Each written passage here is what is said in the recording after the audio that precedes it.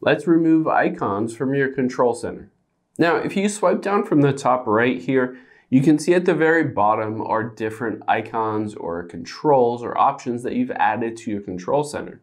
If you don't use all of these, you can always remove them, and I'll show you how to do that. So let's hop out of here and go into settings. And we will tap on control center here. Now all we have to do is under these included controls, we just have to tap the little minus and hit remove. Now that will remove that specific control from the control center.